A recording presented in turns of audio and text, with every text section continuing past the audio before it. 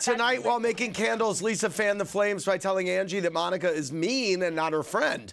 So now we want Monica to wax poetic about both her frenemies in a game of Battle of the Brunettes.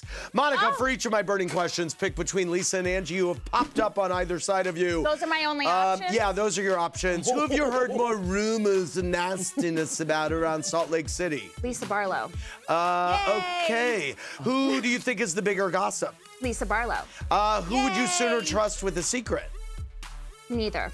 Who flaunts a wealthier lifestyle than they can actually afford? Lisa Barlow. Which of these Yay. fashionistas do you believe has better style? Who has better style? I mean, pick one. Lisa Barlow.